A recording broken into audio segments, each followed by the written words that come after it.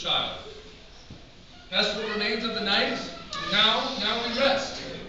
I, uh, I'm, I'm sure you enjoyed your meals, uh, and I hope you will find that your accommodation is satisfactory.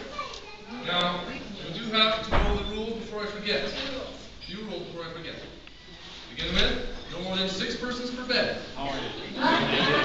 Those sleeping upon the floor must space themselves so as to be easily stepped over.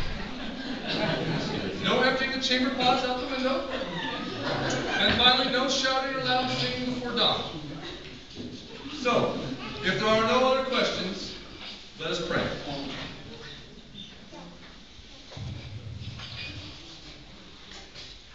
Lord God in heaven, we thank you for the miracle that you have worked among us tonight.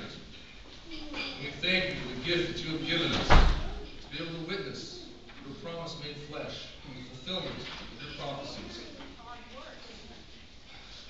Just as the star in the sky that you sent tonight banishes the darkness of the night, so too will this child that you have sent banish us, banish from us the darkness of sin.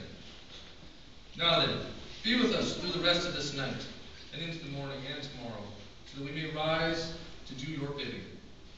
In your everlasting name, amen. Thank you, friends, and good night.